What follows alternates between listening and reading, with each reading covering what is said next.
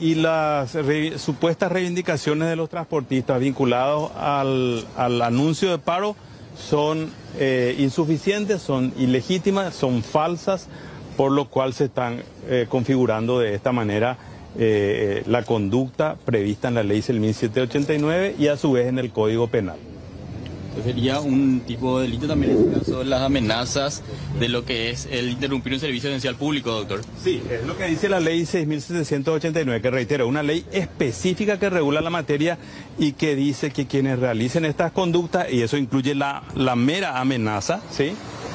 ya están... Eh, eventualmente realizando conductas que están a su vez tipificadas en el Código Penal. Concretamente, el artículo 120 del Código Penal que penaliza la coacción y el artículo 218 que penaliza la perturbación de servicios públicos. Lo que esperamos, como dice la ley orgánica del Ministerio Público, es que un delito, los, mejor dicho, delitos de acción penal pública previstos en la ley y en este caso denunciados no queden impunes. Bueno, atención con esto, forma parte de la atención que hay en este momento con la posibilidad de una huelga, de un paro en realidad, perdón, de un paro. Se suma una tensión diaria de los pasajeros del transporte público que sufren todos los días de su vida un sistema sumamente complicado, reconocido por todas partes, que es deficitario además. Sí. O sea, reconocen los transportistas, reconoce el gobierno y ni que decir los pasajeros.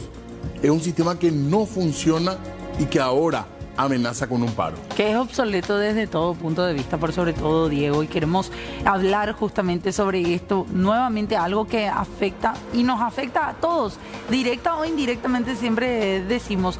Por eso ya saludamos a los representantes de OPAMA, de esta organización de pasajeros de Asunción y el área metropolitana que nos están acompañando, Daniel Echeverría y Belén González. ¿Cómo les va? Bienvenidos ambos. Buenas noches, gracias, gracias por el espacio desde allá. Y asimismo, como dijeron nuevamente, estamos eh, trayendo el tema del transporte público ante este, esta amenaza de paro tan grave que, tiene, que nos está haciendo Cetrapam, La decisión de una de la denuncia fue cómo, cómo llegaron a eso, porque de hecho hay gente que piensa que ya el Ministerio Público debería haber tomado nota de esto, pero bueno, no, no pasó y ustedes toman la decisión de llevar esto como una denuncia.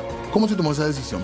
Y empezamos a analizar, en realidad hace unos, unos cuantos meses que se viene anunciando, como amenazando, entonces empezamos luego ya a pensar como maneras en, la en las cuales podíamos evitar eso, pensamos por ejemplo en un amparo.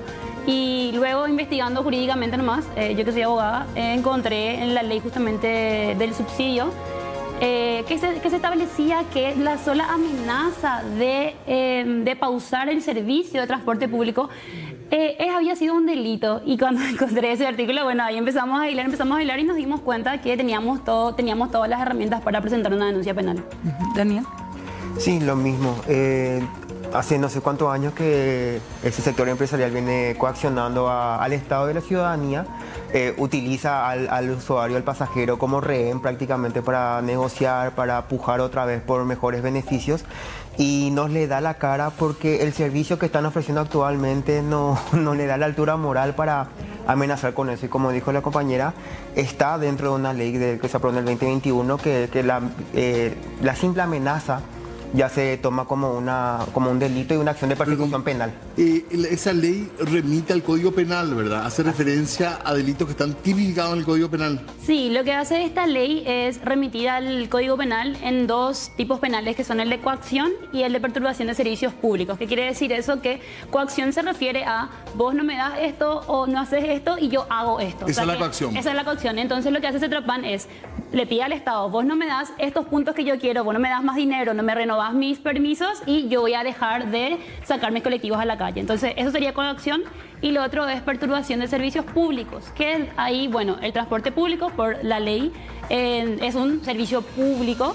Y lo que dice esta ley es que, bueno, las personas que impidan el funcionamiento de ese servicio también serán pasibles de, bueno, de la de entrar dentro de ese tipo penal, verdad. Entonces, lo que hace esta ley es agrega algo más, que es que la sola amenaza de que yo voy a dejar de sacar mis colectivos en circulación ya también constituye un delito. Ahora, eh, quisieran instalar la posibilidad de que como la ley no estaba reglamentada, no se pudiera aplicar ese artículo que, vos decís. Y la verdad que de todas formas sí se puede aplicar porque eh, esa ley lo que hace es remitir al Código Penal. Ah. Entonces tenemos todas las herramientas para que sí pueda ser posible realmente. Es decir, que ese artículo no dice deberá ser reglamentado, no, no, no especifica sobre ese artículo en particular. No, lo que dice es justamente esto de que, o sea, es una, lo que yo entiendo es que esta ley eh, está muy bien hecha, la verdad, junto con el, con el decreto que habla del subsidio, y lo que hace es busca salvaguardar justamente. Y una cuestión muy importante que dice este artículo, el artículo 5, es que cualquier persona puede denunciar esta amenaza. Entonces le da como un poder a la ciudadanía de ser también contralor de, de lo que pasa con el servicio de transporte público. Ahora, eh, el empresariado puede parar. Lo que no pueden hacer es eh, parar para que se les otorgue algo. Esa es la extorsión, ¿verdad? Sí, si bien es un derecho tanto, bueno, sabemos que los trabajadores tienen el derecho a huelga y- Sí. y, los empleadores tienen el derecho a paro. Eso es un derecho constitucional, nosotros y nosotras no, no estamos en contra de las manifestaciones o las medidas de fuerza que son para conseguir derechos, porque de hecho nosotros lo hacemos.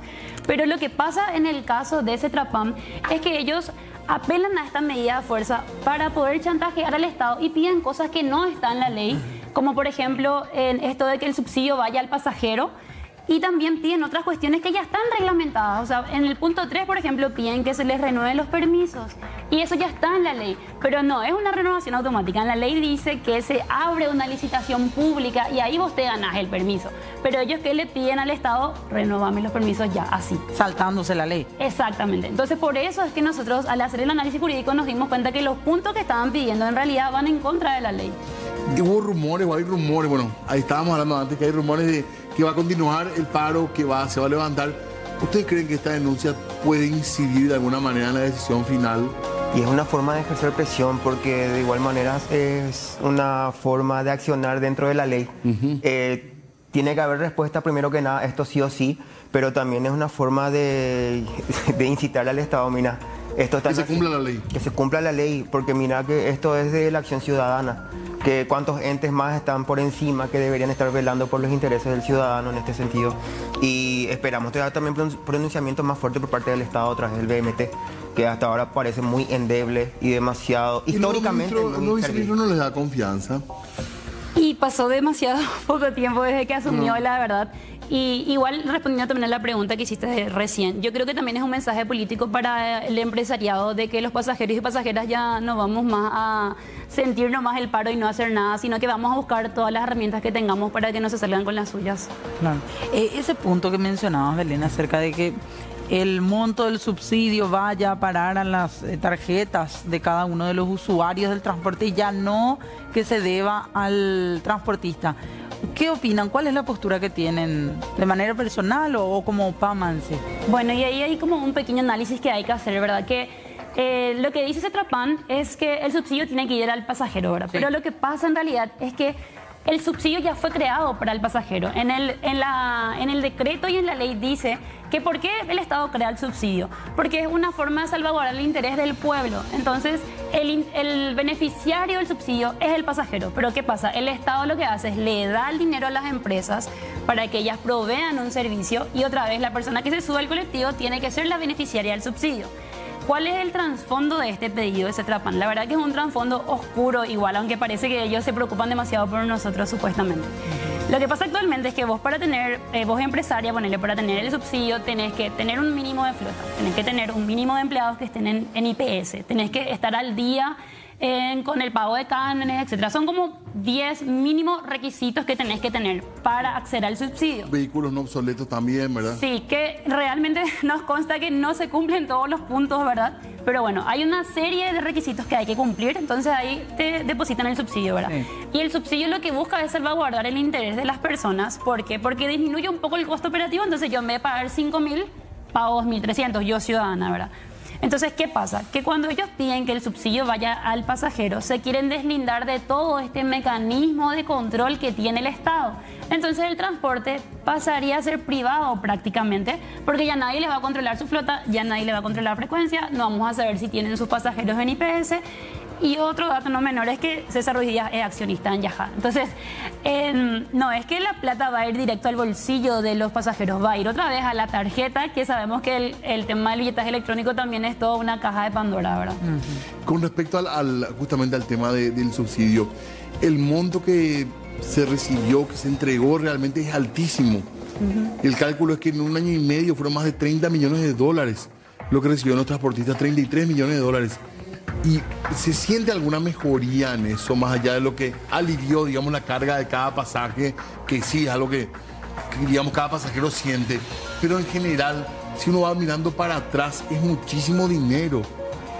Es, ahora para que la, la gente también esté al tanto, eh, a ellos se le pagó ya el total de lo que supuestamente... No se- hay más deuda. No hay más deuda. Incluso se eh, hace cálculos y probablemente cobraron un poco de más, que es lo que a ellos se le- el Estado le dice, ustedes van a tener que devolver esto con servicio más adelante. No es que van a trabajar a pérdida, como dicen. Y la cuestión es, es una millonada anual en donde dos veces al año se, se analiza lo de la tarifa que actualmente está, desfasada realmente y la cuestión es si van a querer eh, inferir en una reforma de transporte público, cosas así, no vemos tampoco una intención de que el ciudadano sea partícipe de esos procesos. Nosotros como los usuarios, como lo que estamos abonando ese subsidio, no, no somos partícipes en ninguno de los procesos y el empresariado el que toma la aposta con estas medidas terroristas para otra vez coaccionarle al Estado. Y no, o sea, opinión personal también y creo que de la mayoría de la, de la ciudadanía, eh, es muy peligroso el subsidio directo. Acá tenemos que analizarlo y tiene que ser una mesa multisectorial, no tiene que ser un sector empresarial nada más eh, extorsionando para pujar lo que ellos quieren y tiene que hacerse ya una mesa lo más urgente posible entre todos los sectores y el Estado tiene que ponerse los pantalones, tiene que- tiene que poner mano dura con esto porque llama la atención cómo es que los otros sectores empresariales eh, se deslindaron del paro y dijeron no, nosotros no vamos a hacerle eso al, al usuario y este sector se mantiene en que quieren seguir coaccionando de esta forma. Acá pasa algo y el Estado tiene que hacer algo urgentemente. Se sentaron ustedes a dialogar con, con el viceministerio de Transporte, el nuevo viceministro, ¿verdad? Sí, eh, tenemos reuniones mensuales, es algo que conseguimos, ¿verdad? Con, con mucha lucha, pero son demasiadas promesas, son demasiadas palabras que siempre postergan las fechas donde tendríamos que empezar a visionar nosotros los cambios, ¿verdad? En el sistema de transporte público. Eh, también que cambian de viceministro cada, cada tanto y no, no se pueden mantener los procesos porque cada viceministro que entra está totalmente fuera y absorto Perdido. de lo que se estaba trabajando. ¿Ustedes sienten que las autoridades, en particular el Viceministerio de Transporte, toman partido por el empresariado o se juegan por, la, por, por el usuario del transporte o están neutrales? ¿Qué, qué sienten así como, como usuarios? Realmente eh, hay muchos factores ahí. La verdad que nosotros lo que nos damos cuenta es que no hay una voluntad política real de este gobierno de poder abogar por el transporte público, porque hay muchos cambios que se pueden hacer sin invertir un solo guaraní, sino justamente, como dijo mi compañero, con la mano dura y haciendo cumplir las leyes que hay. ¿Cuáles, por ejemplo? Y, por ejemplo, la frecuencia. Por ejemplo, eh, que se cumplan las frecuencias, eh, que, que las empresas tengan el mínimo de flota saliendo a circular, porque César Ruiz Díaz mismo dijo hace un- unos meses, un mes creo, eh, tenemos 200 buses menos. ¿Y qué está haciendo el viceministerio? Porque hay 200 buses menos circulando. Entonces, hay cuestiones muy sencillas que se pueden hacer para que mañana la gente pueda sentir la diferencia. Entonces, la verdad que ese mensaje es que a este gobierno no le interesa el transporte público. Santiago Peña dice que va a tener un nuevo proyecto. La verdad que yo la encontré en Palma del Sábado y le pregunté hasta qué hora hay colectivos y o sea, él mismo me Ah, dijo... el video ese. Sí, yo le pregunté hasta qué hora hay colectivos y él mismo me dijo, no, sí, está desastre y... Él es el presidente, Pero o sea, dijo hasta las 11 de me dijo hasta las 11, pero es mentira y la gente que está viendo sabe que es mentira que, que haya hasta las 11 porque mismo después se me acerca una Ese era el feriado, perdón. No, ese fue el sábado. El sábado. sábado fue, no era ni siquiera el feriado. Claro, Porque- estaba la feria de, la, de Palma. Sí, pero el feriado ni siquiera había colectivo. O sea, el feriado era imposible venir a palmear, la verdad. Eso fue el sábado. Y después de eso, de- después de que se vaya Santi, se me acerca una señora y me dice, no, mentira, es porque yo trabajo en el gremio gastronómico. Me dijo, yo salgo a las 11, a las 12 y no tengo colectivo. Me dice, o sea, eh, es una mentira, una desconexión total de parte del, del presidente, de verdad. Y también esto de que un dato no menor es que el viceministerio tiene 35 funcionarios, siendo un viceministerio. O sea, antes de que estalle el, el tema del transporte público hace un año, ese viceministerio estaba de adorno, estaba de adorno y ahora que nosotros vinimos a presionar, ya pasamos por cuatro viceministros, es un montón en un lapso de un año. Entonces, quiere decir que ahora ellos sienten la presión y tratan de hacer ciertas cosas, pero la verdad que una voluntad política real, nosotros y nosotras de Opama no vemos. Y en, y en los otros sectores de, mm, de la sociedad en general, digo, por ejemplo, empresariado, además, no, no hace falta más solidaridad con la clase obrera en general, que es la que más usa, ¿verdad? El trabajador, el que más usa el transporte público, no, no, no haría falta un poco más de, no sé si empatía o si decir solidaridad también, ¿verdad? Porque me imagino que hasta siendo del sector de la patronal, creo que conviene un transporte público eficiente sin pensar siquiera en el factor humano, ¿verdad? En el sentido de, de que se llega con menos cansancio, a horario, pero no vemos tampoco esa participación. No y sé mira, si hay- sí. si es que vos te van a pensar, vos te vas a un local a un local comercial, a un restaurante o a cualquier otro lugar, no te van a tratar mal. Lo, eh, lo que están haciendo ellos es como que te va a un restaurante y te escupen en la comida. O sea, el sector empresarial se sostiene y está lucrando en base a nosotros los usuarios, con el subsidio y con lo que nosotros pagamos otra parte, que pagamos la otra mitad. Y sí, vemos, o sea, yo al menos sí celebro mucho el hecho de que otros gremios del empresariado no se sumaron a esta medida del paro y es más, eh, la repudiaron que creo que es lo que hace falta, porque una, una conciencia social, ¿verdad? Que tenemos que tener empatía entre todos. Pero más allá de la empatía, que es mucho pedir aparentemente, es un servicio que están ofreciendo ellos. Ellos se dedican a- al servicio de transporte público. No otros sectores también, Sí, ¿verdad? hay sectores que se solidarizaron, o sea, no empresariales tanto, ¿verdad? Pero sí la FETRAT, que es el- la Federación de, de Choferes, que nosotros nos llegamos a marchar luego en este año con FETRAT y con FENAES, porque también hay un tema de que los choferes sufren mucha explotación laboral. 16 a 18 horas trabajan ellos, o sea, es un montón. Además, eh, perdón, eh, Belén, que te interrumpa, pero anda a saber qué va a hacer de ellos si van tres días a paro. Los, los choferes que dependen del día a día, de esa recaudación, de, de esos redondos que El hacen. redondo. Igual la ley, en la ley establece que si el empleador llama a paro, tiene que dar igual el sueldo, porque viste que el empleador es el que está realizando, no la huelga. De ahí a que se cumpla, bueno, es otra cosa, pero la ley establece que ellos no deberían salir afectados por lo menos en su sueldo. Lo que sí quería decir era que, bueno, hay gremios que se solidarizaron, o sea, los estudiantes secundarios, eh, FENADE se solidarizó y también repudió el paro, eh, FETRAT y también, bueno, eh, estos otros gremios empresariales que, que, bueno, no llamaron a paro y también inclusive vi que la DINATRAM ofreció su- sus colectivos y Gobernación Central también.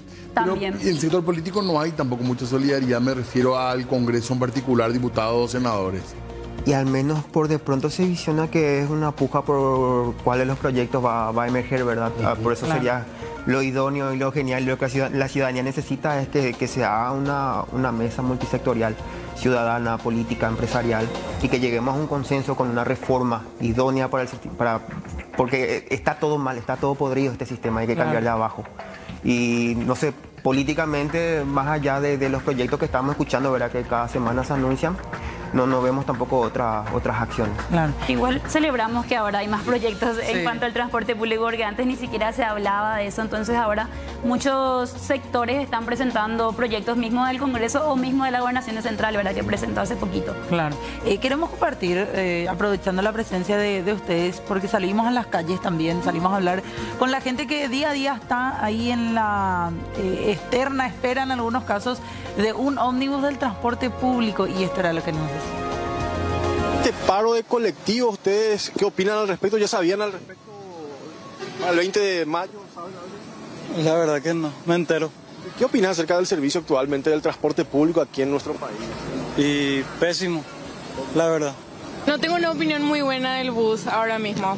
No hay muchos de los que las personas toman, por ejemplo, el Falcon, no hay absolutamente nada. Hay uno en todo el Paraguay. Salimos a las 6 y hace una hora que estamos acá esperando. Eh, Mariano Calonso. ¿Pero qué exigirían, por ejemplo, las autoridades en torno a este punto del transporte público? Buses, más colectivos, por favor. A mi caso, por ejemplo, ya suele tardar dos horas y llevo eso de la casa a las nueve por ahí. ¿Tienes que caminar otra vez? Tengo que caminar a la, a la expo. Yo tomé un 16 y ese colectivo, eh, por la lluvia, más que nada, ¿verdad? Pero se descompuso en mitad de camino. Tenés que esperar largas horas hasta que venga uno, una hora aproximadamente. ¿Sabes de esta, de esta huelga, de este paro que van a estar realizando el próximo 20 de mayo? Sí, recién me enteré y tipo, para algunos nos afecta mucho porque la mayoría entramos a las 8 y salimos tarde. Estamos esperando demasiado mucho. Se espera muchísimo, los colectivos vienen abarrotados, imposibles.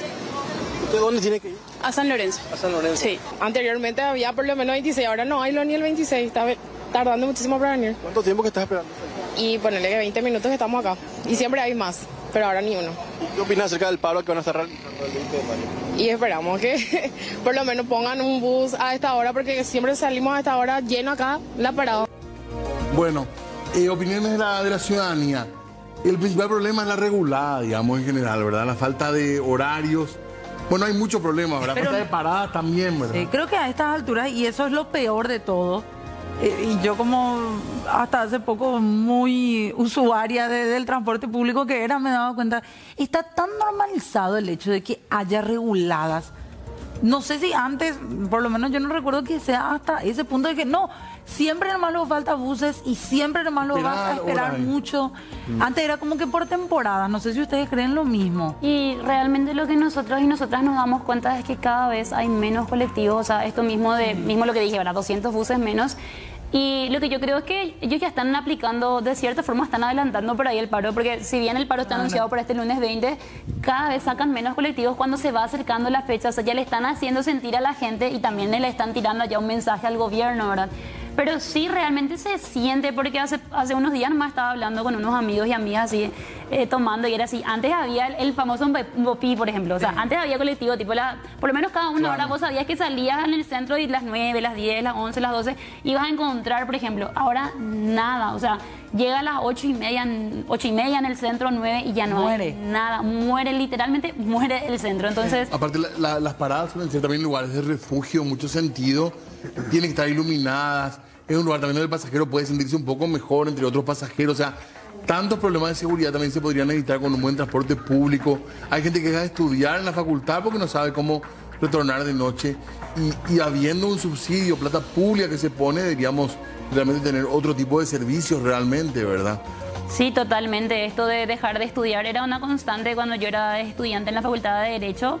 Eh, el turno noche era así, eh, las personas que se quedaban al final de la clase tenían que, sí o sí, si no tenías un auto, bueno, te quedabas a esperar irte con tu compañero porque si no, no volvías de Trinidad y te quedabas ahí en la facultad. Entonces, eh, esa es una constante y mismo pasa en el campus de la UNA, ¿verdad? De que eh, en San Lorenzo, encima, o sea, en una ciudad donde pasan muchos colectivos, los chicos y chicas se quedan sin colectivo. Entonces, eh, son muchos factores y también esto de que el paro a quién le afecta más. Eso también estábamos conversando con mis compañeros y compañeras de que las mujeres son las más afectadas otra vez en el paro. Por el tema de la inseguridad, por el tema de que eh, te exponen más a la noche, también las tareas de cuidado. O sea, eh, acá en Paraguay por una cuestión de mala distribución de, las tareas ¿verdad? del hogar y porque hay muchas familias lideradas por mujeres, las mujeres trabajan afuera y tienen que dejarlas, llevarle a su hija a la guardería o llevarle junto a la tía, después se van a trabajar, después van a hacer las compras, no tenés colectivo y qué, tu familia, qué va a pasar tu familia ese día del paro. Entonces. Hay un montón de cuestiones que, que el Estado debería solucionar y ahí también es, en eso queremos resaltar, ¿verdad? Cetrapan está llamando a paros, es cierto, pero el Estado ¿qué está haciendo? Si mañana se hace la reunión, Cetrapan dice, sí vamos a hacer el paro. ¿Qué tiene que hacer el gobierno? Tiene que sacar buses del Estado gratis, tiene que sacar un, un decreto donde diga que las personas tienen habilitado llegar tarde, por ejemplo, a la escuela tienen habilitado llegar tarde, los funcionarios públicos, Claro. eh, el Ministerio de Trabajo tiene que llamar a las Sí, empresas. entonces- educación también. Totalmente, o sea, Claro. el Estado tiene que accionar y no tiene que hacer la mirada hacia otra parte. Y también eh, exigir que se cumplan los requisitos a cambio del subsidio. Y también cumplir, porque también se ha sido una queja de los empresarios, no sé si con razón o sin razón, que el Estado no cumple, les promete el subsidio y tampoco cumple, lo cual también es un problema. Yo, por más errores que tenga el, el sistema del transporte, si vos como Estado te comprometes a pagar una plata, tenés que hacer, ¿verdad? No hay vuelta. Y ya también en base al video que estuvimos viendo recién, eh, me recordó las palabras con respecto a lo que es la regulada frecuente, ¿verdad? La regulada nunca se fue. Desde el año pasado estamos sufriendo eso. Eh, ¿Por qué existe hoy Opama? Es por el tema de las reguladas, que ya, ya tienen Claro. de- demasiados años en vigencia, ¿verdad? Y César Ruiz Díaz, eh, eh, la vez pasada tuvo una expresión asquerosa al respecto diciendo, ¿quién puede definir lo que es una regulada? En sus palabras, él lo que dijo y estaba haciendo confeso de que hacen regulada al decir que ellos buscan optimizar sus recursos en base a lo que tienen. Entonces nosotros estamos frente a personas que abiertamente están diciendo, sí, estamos, estamos admitiendo que Lo regulamos". común ya era regulada. ¿eh? Eh, eh, el colmo. Y otra cuestión también es, si se ponen a ver las empresas, la gente tiene que saber, investiguen y vean. Las empresas que se están llamando a paro dentro de la CETRAPAM, la mayoría de ellos, sus dueños son políticos, o en ejercicio, o candidatos anteriores. tienen que, que tienen que ver esa lista. Eh, justamente dijo línea 26, hay otras li- tres, cuatro líneas que yo me estuve fijando. El sistema de billetaje. vínculos políticos. Eh, Sí, eh, no, no solamente vínculos, dueños, Dueños. directos incluso en este caso. Ah. Y la cuestión acá es, estamos ante una rosca mafiosa de, entre políticos y empresarios. O sea, acá no hay una distinción entre uno u otro.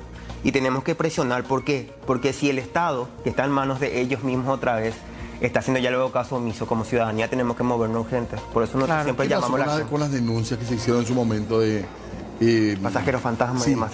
Validaciones fantasma? Y ¿Se se progresó? abrió- realmente lo que tenemos es que sumarios administrativos. Eso fue lo que la noticia que tenemos. ¿Alguna que- multa hubo por ahí, verdad? Sí, eso es lo que tenemos noticia de que hubo sumario administrativo, pero de ahí a que el tema pues es que tiene que haber una respuesta de una política pública que busque evitar esas cosas.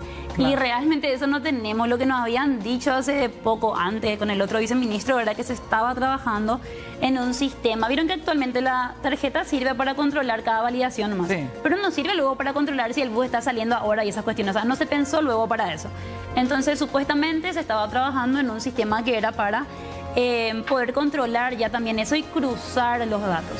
Eso nos habían dicho. Sí. Que yo considero que es como respuesta realmente a nuestra denuncia del año pasado. O sea, esto de por qué no estamos sabiendo si el colectivo está cumpliendo no su frecuencia o se está dando la vuelta a YT en cualquier jugar en un barrio que no sabemos dónde es, ¿verdad? Eso pasó ya. Entonces, eh, eso está en veremos, supuestamente eso nos dijeron del- desde el viceministerio, pero no tenemos noticia de si ha avanzado o no.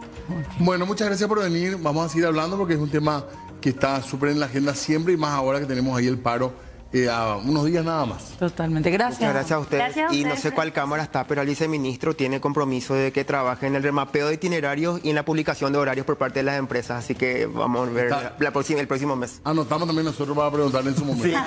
Gracias. Exactamente. Gracias. Es la exigencia por sobre todo que prevalece entre los usuarios del transporte público. Tenemos que hacer una breve pausa enseguida, volvemos.